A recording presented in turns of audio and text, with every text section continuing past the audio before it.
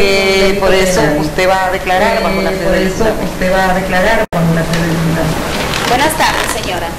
Buenas tardes. Su nombre completo, por favor. Adalgisa Claribel Polanco de la Cruz. ¿Dónde Adalgisa reside, Claribel señora Polanco de la Cruz. En la bomba de Cenoví. ¿A qué se En la dedica? bomba de Cenoví. Ama de casa. ¿Está casada? Ama de casa. ¿Tiene hijos? Sí, no. ¿Cuántos hijos tiene? Me quedan dos. Le quedan dos. Me quedan ¿Cuántos dos. hijos tenía? Tres. Tres hijos. Tres. ¿Qué pasó con su otro hijo? Me la asesinaron. Sí, un segundito, un segundito. Un segundito, un segundito.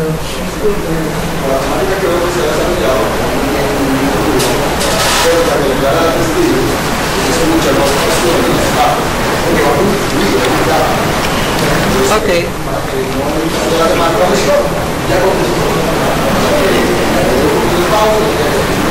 Sí. Eh, a la testigo se le advierte cuando escuche la palabra objeción de alguna de las partes, la usted guarda silencio. una de las partes, usted guarda silencio hasta tanto el tribunal le dé paso a continuar con su declaración. Y bien, eh, es bueno que hable un poco pausado. Por favor. Señora Danisa, ¿sabe usted por qué está aquí en el día de hoy? Sí. ¿Por qué? Por el asesinato de mi hija. ¿Cómo murió su hija, señora Danisa?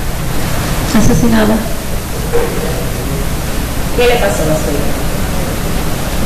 Por muchas, muchas formas, un golpe en la cabeza. Lo de ella, yo no, no, no he querido ver nada de lo que me le hicieron a mi hija. ¿Qué día le pasó eso a su hija? Un 23 de agosto 23 de agosto de qué año? del 17. ¿Dónde estaba su hija ese 23 de agosto del año? En mi casa. En mi ¿Qué casa. horario estaba en su casa? 8 a 8 y media de la mañana, cuando salí. ¿Fue esa la última vez que usted vio a su hija? Sí. Fue la última vez. ¿Hacia dónde salió su hija, señora Danisa? Al Centro Internacional a buscar los resultados de los análisis que yo misma la llevé a hacerse. ¿Usted le llevó a hacerle unos análisis? Sí. ¿Qué tipo de análisis, señora Danisa? Análisis de embarazo Análisis de embarazo. y estonografía. ¿Qué arrojaron como resultado esos análisis? Un varón. Estaba embarazada de un niño varón. Su hija estaba embarazada de un De un niño varón. ¿Qué tiempo de gestación tenía su hija? Cinco meses y algo. Cinco meses. y algo. Sí. ¿De quién es esa gestación que tenía su hija? Del imputado Marlon Martínez. ¿Está Mario Martínez? Claro. ¿Desde hace cuánto tiempo conocía usted a Marlon, señora? De este niño. Desde niño. De este niño. ¿Qué edad aproximadamente tenía Marlon? La edad no la recuerdo, pero sé que desde muy niño.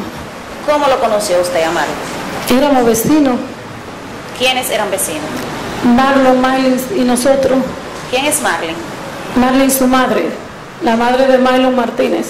¿Está aquí Marlon? Claro que sí. ¿Dónde está Marlon, señora? Está detrás. Ustedes eran vecinos. Sí. ¿En qué sector eran vecinos? En San José de Senoví. San José de Senoví. San José de Senoví. ¿Usted sabe qué edad tiene Marlon? Marlon, me imagino que 20 y algo ya. 20 y algo. 20, 22, por ahí. ¿Y su hija qué edad tenía? 16 años. 16 años. Este año cumplió 17. Pero ya no está. ¿Cómo inició la relación de su hija con el joven Marlon? Como toda persona, todo adolescente, ¿Cómo es como todo adolescente, señora Dalgisa? unas personas que se llevaban bien, bien unidos. Éramos dos familias muy unidas y muy queridas. Ustedes eran dos familias muy unidas. Muy unidas y muy queridas. ¿Cómo era el trato de ustedes? Bien. Muy bien.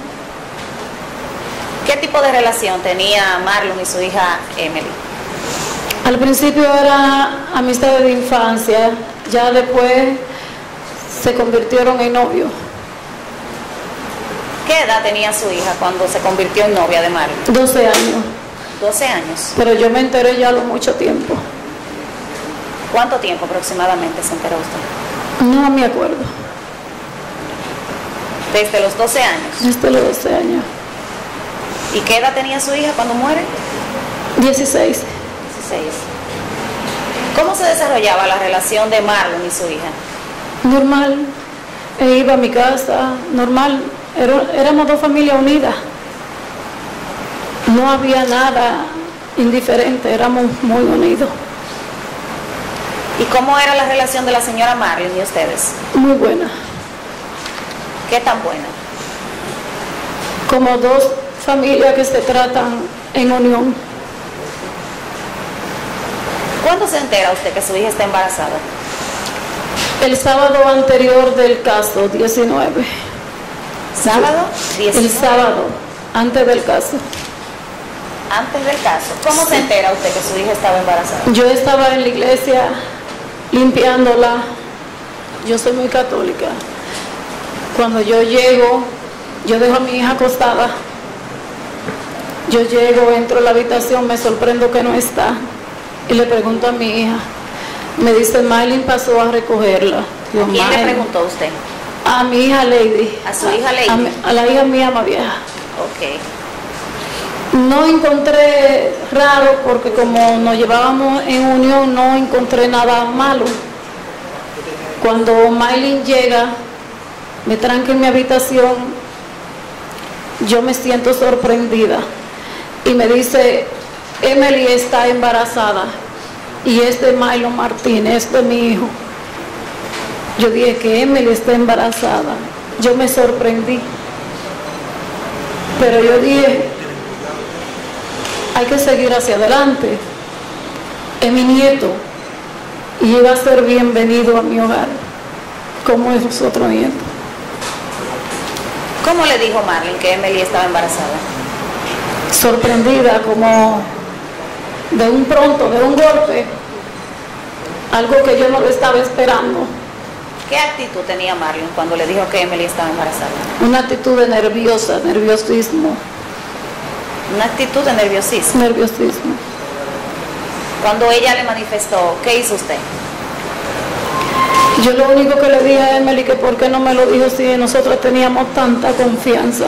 Me dijo, mami, digo, pero mi nieto es mi nieto y estoy feliz por él. Iba a ser bienvenido a mi casa. Ok. Luego de que usted sostiene esa conversación con la señora Marlene, ¿qué hace la señora Marlene? Se fue, Se retiró de su casa. se retiró de mi casa. ¿Y Emily? Se quedó conmigo. ¿Qué pasó en el transcurso de esos días? En el transcurso de esos días, Marley me llama, me va y me llama un dinero para que fuera a hacerle un chequeo. ¿Quién le llamó? Marlene. La señora Marlene le llama. Sí, fue a mi casa y me dijo, mira, este dinero es para el chequeo de la niña. Yo ya le, le cogí una cita con la doctora y es en el Nacional. El lunes yo voy con mi papá y mi niña, le hagamos todos los análisis, le hagamos la escenografía, donde yo por primera vez conozco a mi nieto. Mi nieto estaba completo, estaba bien y se veía un niño hermoso. Nosotros estábamos felices y mi niña estaba inmensamente feliz cuando vio a su hijo. Su hija estaba feliz. Claro que sí, muy feliz. Señora Dalgisa, ¿usted supo cómo la señora Marlene sabía del embarazo de Emily? No, pero me entero después que alguien la llamó y se lo dijo. Y Emily le manifestó cómo la señora Marlene se había enterado. Mi hija me dijo que ella fue y la llamó y que ella le sacó que iba a, que a firmarle unos documentos a su abuela, pero no fue así. Ella la llevó donde la señora Liberata a hacerle una prueba de embarazo. La sacó engañada a ella y, sin permiso de nosotros. La llevó donde la señora Libera, Liberata. Liberata. ¿Quién es Liberata? María Barbina. ¿Quién es María Balbina? Una señora que trabaja en un salón, tenía un salón pero trabajaba con Miley Martínez. Una señora que tenía un salón pero trabajaba con la señora Marlene. Sí. ¿Cómo fue? ¿Qué tipo de prueba le realizaron a Emily? Me imagino que una prueba casera, de esas que se compran, porque de eso no, no sé. Luego de que Emily y ustedes vieron el niño que ella estaba gestando, ¿qué sucedió? Mi hija estaba feliz, muy, muy feliz.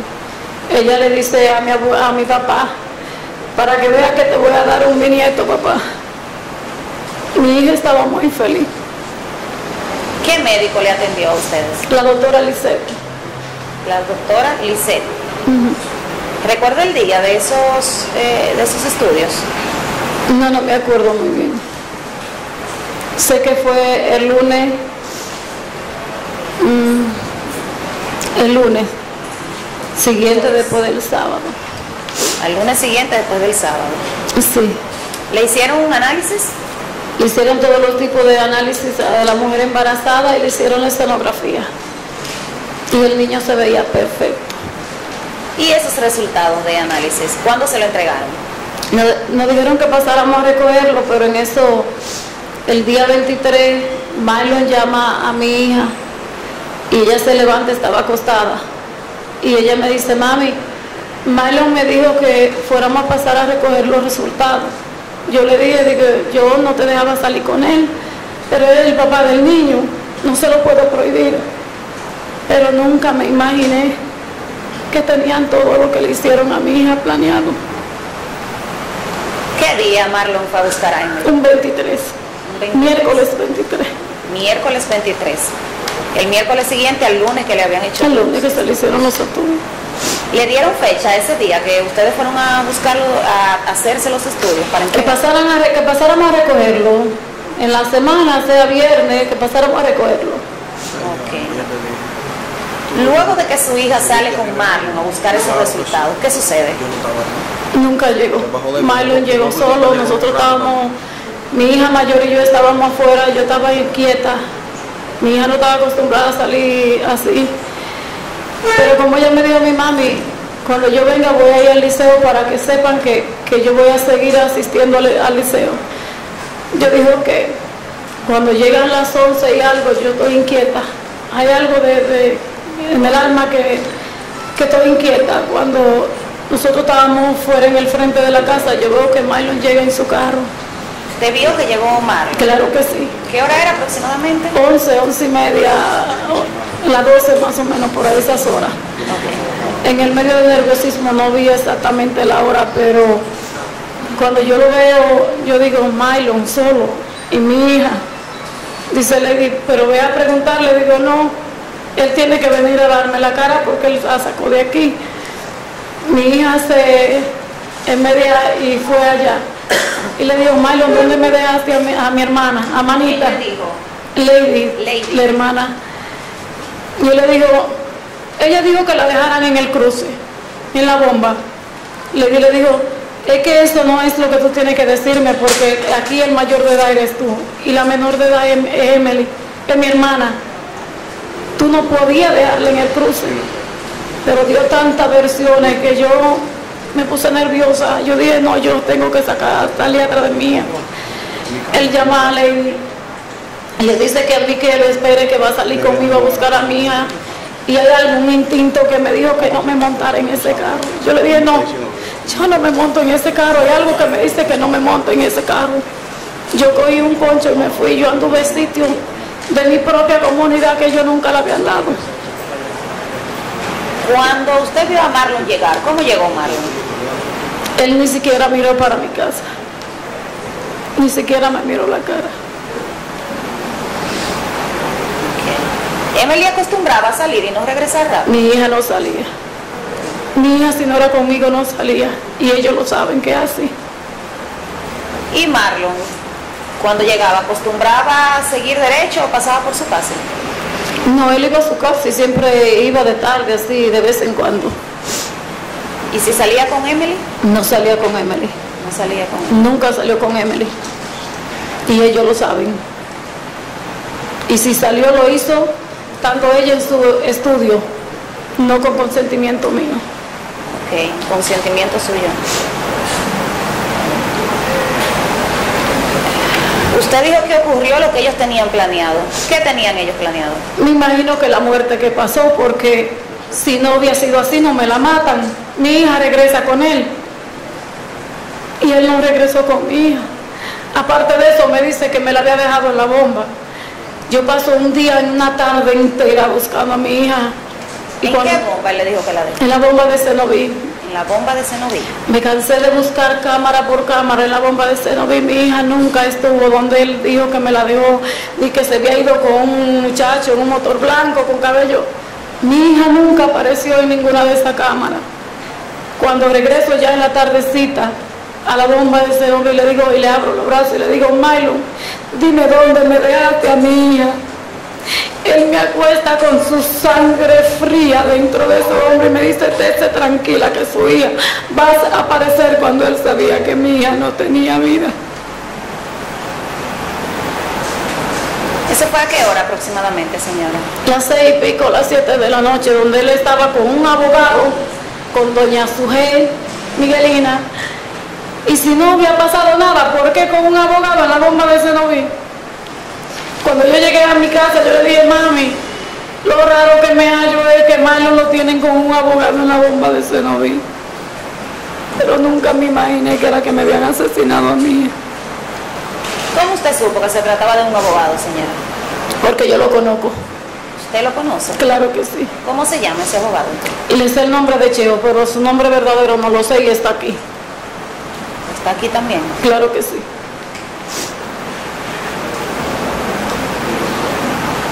¿Dónde está Cheo, señora? Está ahí. Él andaba con ese abogado. ¿Y con quién más dice usted? Y su G, su G Miguelina Polo. ¿Quién es su jefe?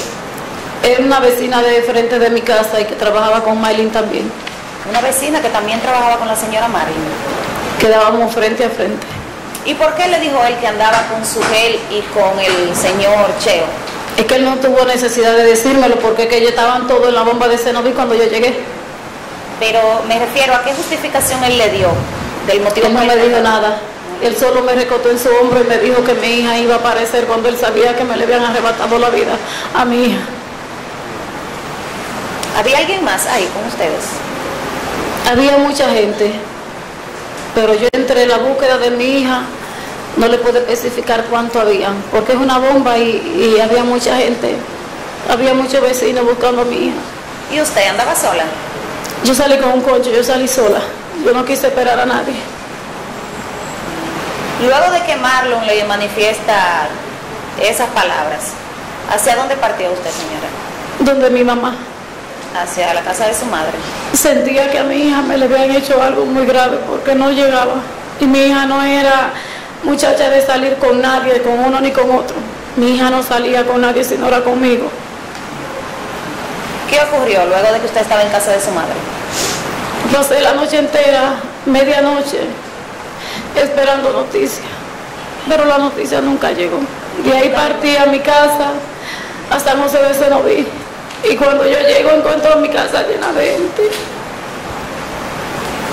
¿Por qué estaba su casa llena de gente, señora? Por la búsqueda de mi hija. Porque mi hija no era una niña de salir a ninguna hora. ¿Dónde la buscaron? En toda parte. Nos ponían de mojiganga y llamaban que, que está en La Vega, que está en tal sitio, en toda parte. ¿Quiénes le llamaban a usted? Gente diferente. Mucha gente que la vieron en La Vega, que la vieron en tal sitio y eran mentiras. ¿Usted habló con la señora Marilyn? Nunca me dieron la cara. Nunca me dio la cara. ¿Cuándo vuelve usted a ver a la señora Marilyn? Cuando fui al cuartel, ya Marlon estaba preso. Cuando yo llego al cuartel, está su eje y muchísima gente. Ella se me abalanza arriba y me dice nuestro dolor. Yo dije, páreseme ahí. Es mi dolor. Su hijo está ahí, la mía, no sé dónde está. Pero lo raro es que ella tenía un aruñazo acá. ¿Quién tenía una Marlene Martínez. Marilyn. Sí, yo me quedé mirándola, yo dije, Dios mío, ayúdame a seguir, a resistir lo que viene, porque sé que ya mi hija no, no está en este mundo. Hay algo instinto de madre que me decía que mi hija no estaba viva. ¿Cuánto tiempo duró, duró desaparecida su hija? Nueve días, una semana y no sé, fueron muchos días, día tras día, noche tras noche, sin dormir, sin comer. esperando que me llevaran a mí. Dijo usted que puso una denuncia. Claro que sí. ¿Cuándo puso usted esa denuncia? No recuerdo el día, pero sí la puse, porque ya no aguantaba más. ¿Dónde puso la denuncia, señora? En San Francisco de Macorís. Fuimos a La Vega, fuimos a todos los canales, pero mi hija nunca apareció con vida. ¿Cuándo fue detenido el joven Marlon? No recuerdo el día que fue detenido. ¿Cuándo aparece su hija, señora? Creo que tenía como nueve días o algo así. Como nueve días. Mi papá me llamó y me pregunta que, que tenía mi hija para identificarla. Yo le dije, ¿por qué? Porque hay una muchacha que está aquí, que la, la dejaron tirada en la calle. Yo le dije, búsquele la mano izquierda del guillo, papi, que él- algo me dice que esa es mi hija. Yo le había regalado un guillo de plata con una plaquita con un corazón abierto.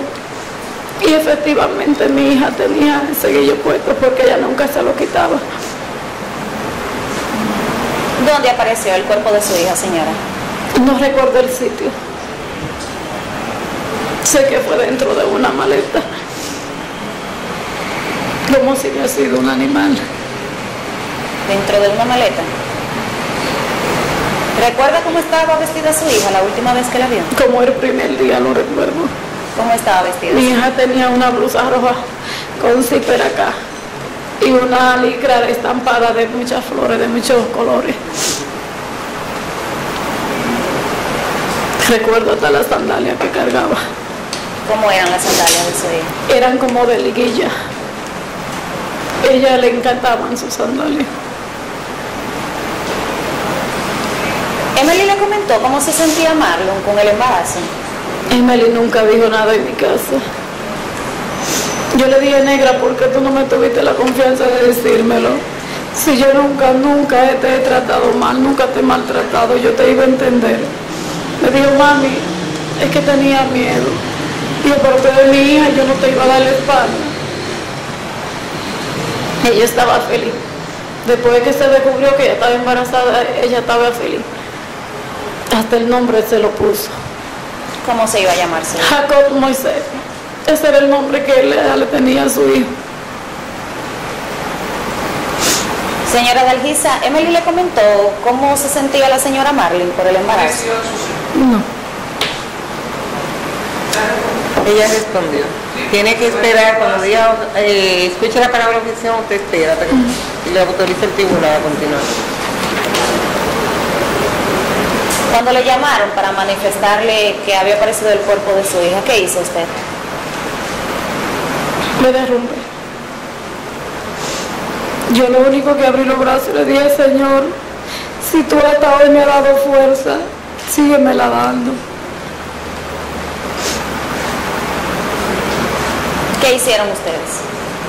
Mi papá se fue con la persona que recogieron el cuerpo de hija a Santiago. Y hasta que no la identificaron y la dejaron en el así, no regresó. Me di- yo le dije, papi, no me deje a mi hija sola a pesar de cómo, me, cómo esté. Él me dijo, mientras yo no la entregue a Santiago, yo no te la voy a dejar sola. ¿Quiénes más fueron a Santiago? No tengo entendido los demás. Sé que fueron muchas personas, pero no tengo entendido. ¿Qué ocurrió con Marlon luego que aparece Emily? Estaba preso ya. Ya estaba preso. Marlon estaba preso antes que apareciera Emily, el cuerpo de Emily. No me acuerdo la fecha. No recuerdo la fecha. No me acuerdo. ¿Cuándo vuelve usted a ver a Marlon después que encuentra el cuerpo de su hija? Cuando estamos en San Francisco, que ya está detenido.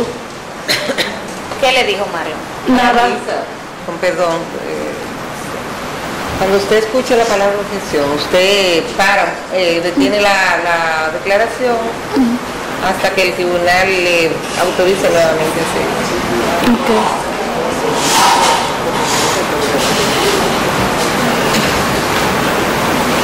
¿En qué momento vuelve usted a ver a la señora Marlon? En Salcedo. Respondió. Solamente aclarar que ya se refirió a Marlon. La pregunta primero fue a Marlon. Ahora estamos hablando de Marlon. Ok, respondió testigo. ¿Le manifestó algo la señora Marlon? que era nuestro dolor. Y yo le dije, páreseme ahí, es mi dolor, el suyo no. Mi hija no sé dónde está y usted tiene su hijo vivo. No sé dónde está la mía. ¿Qué pasó posterior a ese momento con Marlon y Marlon? De ahí se le tomó medida de cohesión a Marlon y entonces después fue que detendieron a Marlon Martínez. Después detuvieron a la señora Marlon. ¿Volvió usted a hablar con ellos? Jamás. Nunca me dieron la cara. ¿Qué actitud han asumido ellos con usted? No sé ni siquiera cómo explicárselo. ¿Por qué? No lo puede explicar. Porque por la forma que nos tratábamos, primero nunca esperé que me le hicieran lo que me le hicieron a mi hija. Y segundo, cuando mi hija desapareció, yo esperaba que Miley Martínez me diera la cara. Y nunca lo hizo. Nunca lo hicieron. Se va a reserva provisional. Sí, bueno, la parte querellante.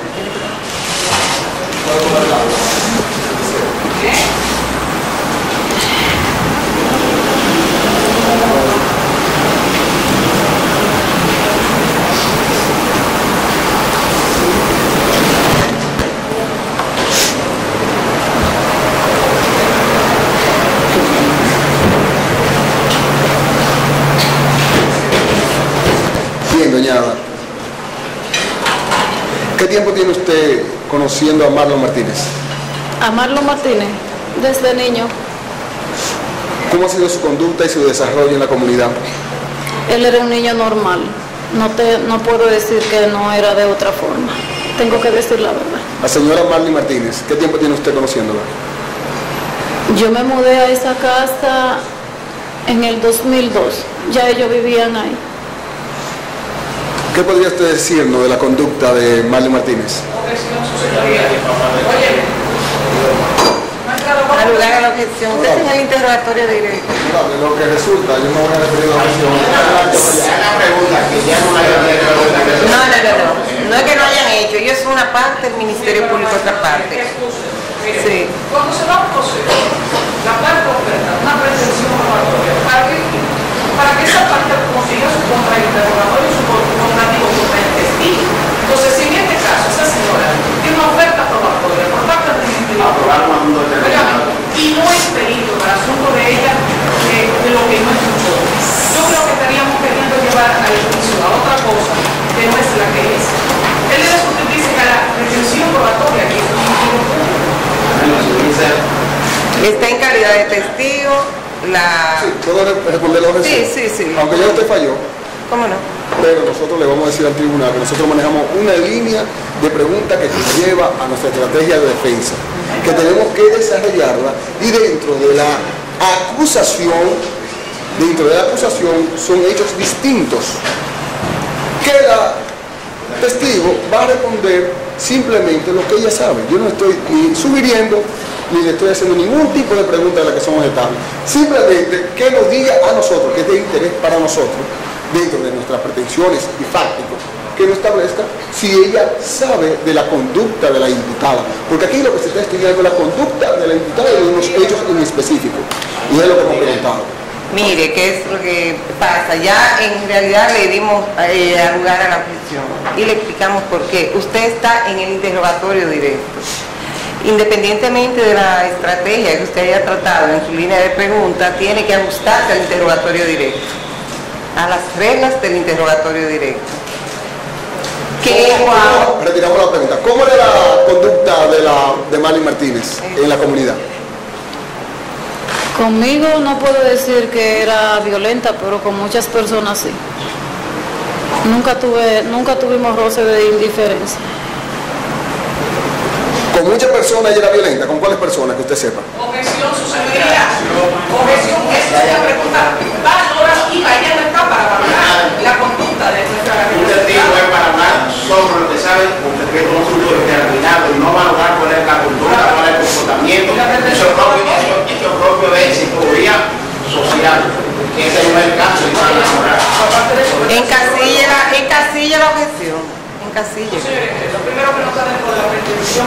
Sí, pero encasille la objeción, la objeción como tal, encasíllela. No el fundamento. valorativas. Yo le estoy haciendo una pregunta sobre una respuesta que ella dio, directa a ella. Ella no está valorando nada. Ella dio una respuesta y esa respuesta es la que yo quiero que ella me desarrolle. Ella fue la que trajo eso aquí, no fui yo. Ni fue la defensa, ni fuimos nosotros. Es decir, que no tiene razón la objeción. No está dentro del canon la objeción.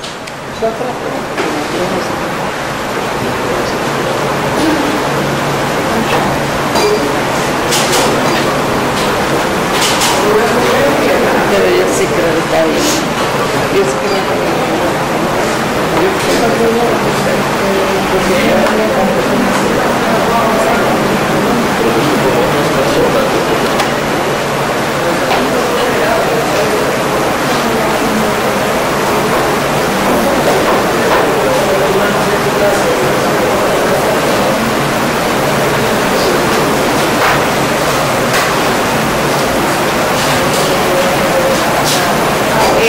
está bien. Yo sí que me a lugar a la prisión, ajuste su línea de preguntas, reformule la pregunta formulada que estaba por la sentencia penal. Thank you. ¿Usted sabe el nombre de la doctora que le atendió en el Centro Nacional? La doctora Lisette, ¿Usted conocía a la doctora Lice? jamás la había visto, ¿Por qué usted llegó donde la doctora Lice? porque Miley Martínez me mandó. ¿Cómo la mandó y cuándo? Que ella me dijo ese, eh, ese sábado que ella había cogido una cita y que la doctora Lisette me estaba esperando en el Nacional.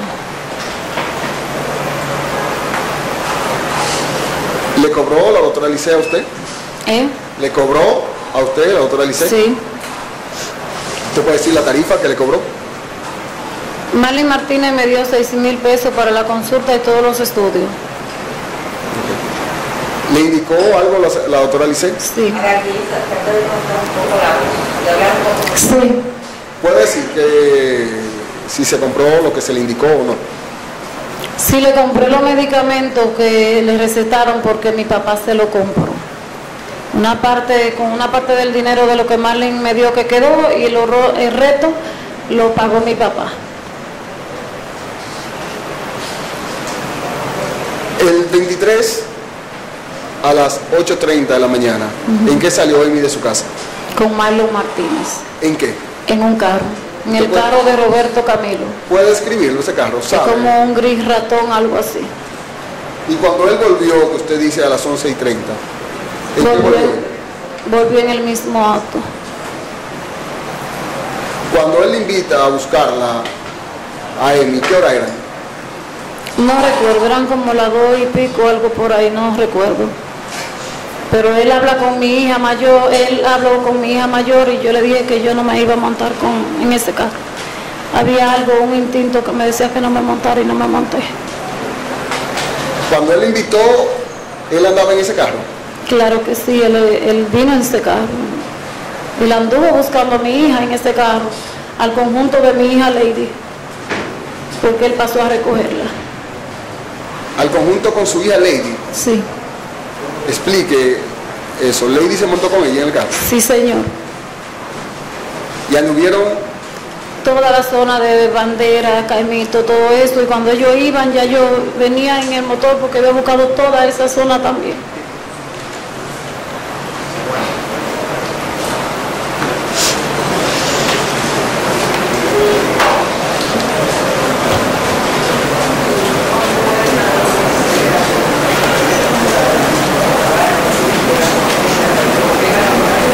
¿cómo estaba o usted veía la salud de Amy en esos días? Muy bien, Cuando ella salió de su casa, ¿cómo usted la notó? muy bien, muy feliz. Salió sonriente y huyendo y me dijo, mami, nos vemos ahorita. Y me dio una sonrisa y un abrazo que yo nunca lo voy a olvidar.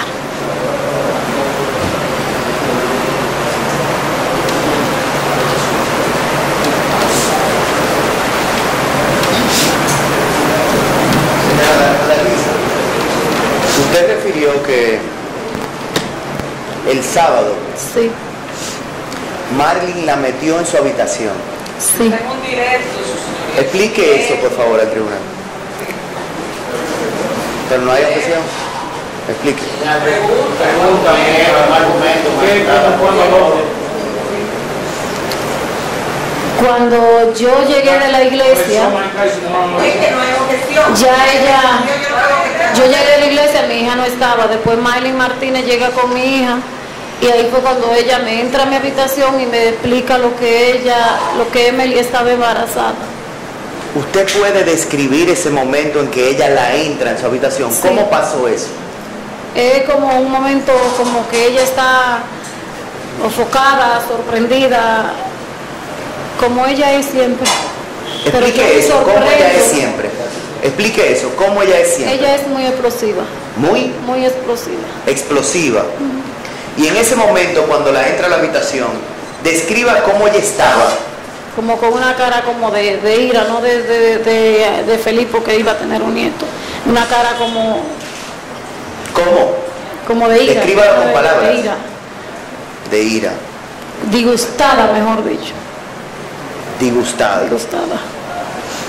¿Recuerda usted algunas palabras que ella utilizara en ese momento? Objeción, su señoría. Y ella ha manifestado varias veces lo que cuando se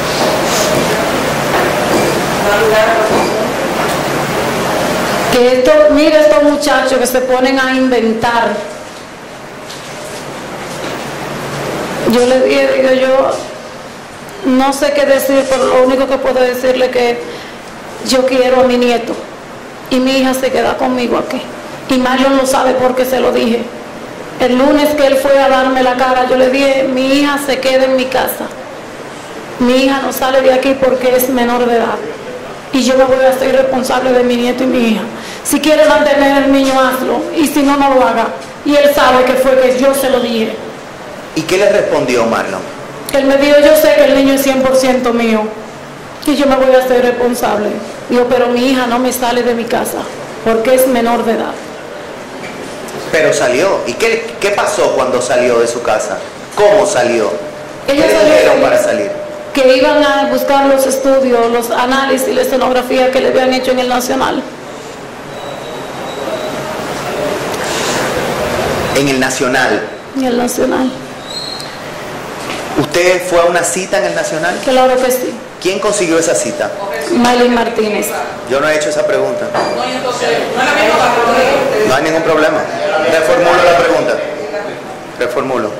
¿Usted tuvo alguna opinión para obtener esa cita? ¿Usted decidió qué día era? No. ¿Quién decidió qué día era? Maylin Martínez tenía todo preparado.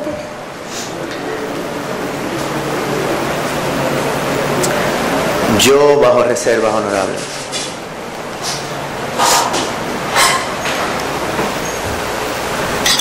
La defensa técnica, preguntas.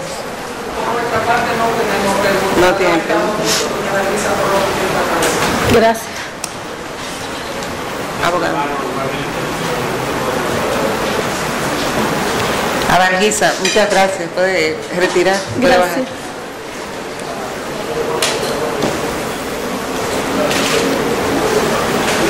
Ministerio Público. Bien, honorables, continuamos con el testigo Genaro del Carmen Peguero Cáceres, en su doble calidad.